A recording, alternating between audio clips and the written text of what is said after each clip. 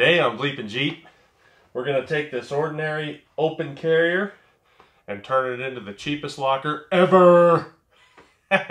so stay tuned.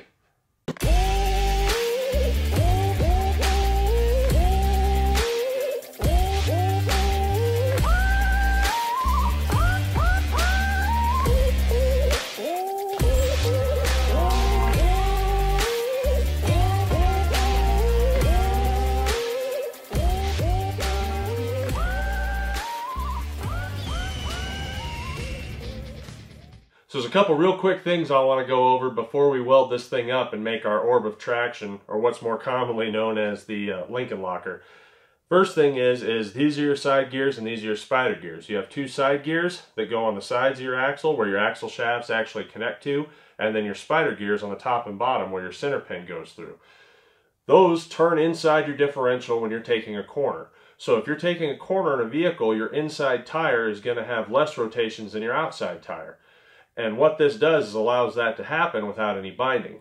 When we weld this up, or if you put in a spool or a heavy actuating locker like a Detroit, then what happens is when you take that corner, one of those tires is either going to spin or drag. And it's going to make that barking sound when you hear a vehicle take a corner that has a, a, a solid locked rear end.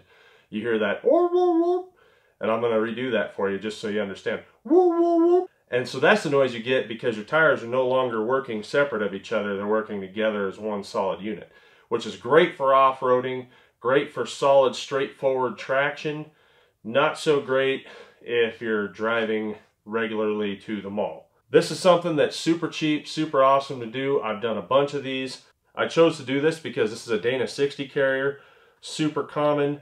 Uh, this Dana is the same as what you would see inside a Dana 27, a Dana 30, a Dana 35, a Dana 44, a Dana 60, an 8.8, a Dana 70, a Dana 80. Any of those axles, if, if they have an open differential, you open up that carrier and this is exactly what's going to look like inside that differential. So that's why I went with this one. I guess the most common differential you're going to see. Let's go over a few quick steps we need to do before we weld it up. So the first thing I like to do when I have the diff cover off and all the oil out, or if I have the carrier out completely, is I like to give this thing a good dose with a brake clean, make sure I use non-chlorinated brake clean, and get everything cleaned up really, really good. Make sure all that oil's out of there because you are going to be hitting it with fire. Then I like to hit it with air and make sure I blow everything out and have it clean.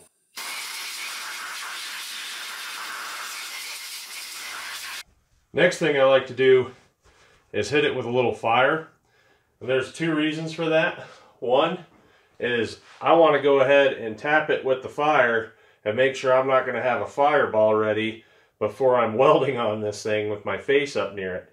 Secondly, I want to get all the heat out because any place where it starts getting hot, the oil is actually going to absorb out to that point. And so I don't want oil contaminating my welds. And thirdly, it's not a bad idea to go ahead and get this cast a little bit warmer. But that's really on the low end of my priority because when I weld, I like to weld the teeth together first. And by the time I get my teeth welded together on all four ends on both sides, then I flip it over to the other four sides. And at that point, it's actually warm enough, this cast is warm enough that I can weld the gears to the casting. You can see there was a little bit of brake clean left on the table.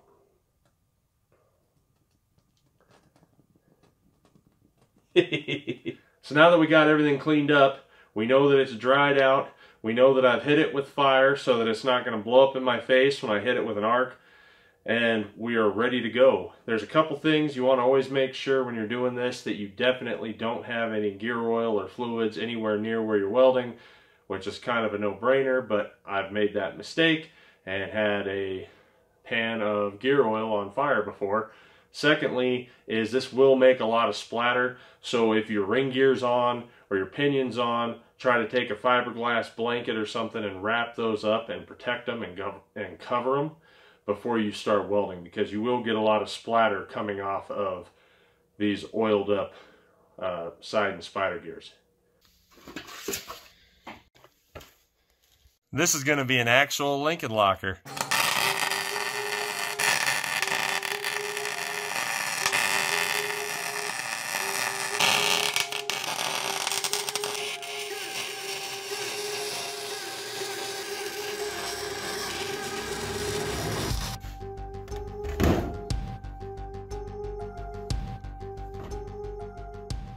So there's a couple things to remember when you're welding these up.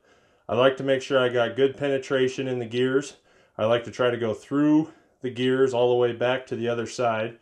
I like to make sure that I have a good weld between the gear and the carrier and the gear and the carrier. I normally even like to come in here and fill in these gaps that are open here between uh, gears and carriers. It's a big gap to fill, but if you turn your wire up a little bit and you got a good welder, then you can probably knock it out pretty fast. If you don't have a good solid welder, try to find a friend that does or go to somebody's house that does. I normally don't like to use the little 110 welders for this type of work because I don't think they get a good enough penetration between the gears and the gear and the carrier.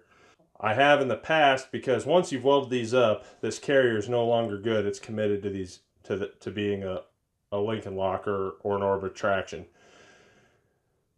And in the past, I've seen people say take a plate and weld a plate in here, or you can just weld the gears right to the pin, your spider gears right to the center pin, and which is fine as long as you don't have a C-clip axle. If you have a Dana 35 or an 8.8 that's still a C-clip, then you're going to need to be able to pull this center pin out if you ever have to change an axle shaft out. So I, if that's the case, then I definitely would not put a plate here, and I definitely make sure I don't weld this pin up.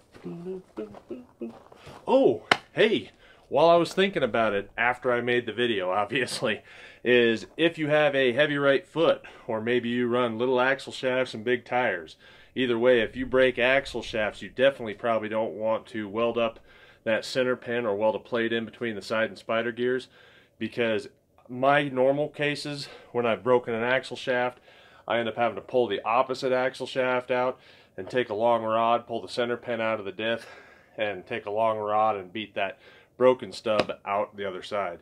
So if that's your problem or if that's a case that you may have, then you definitely don't want to weld those up.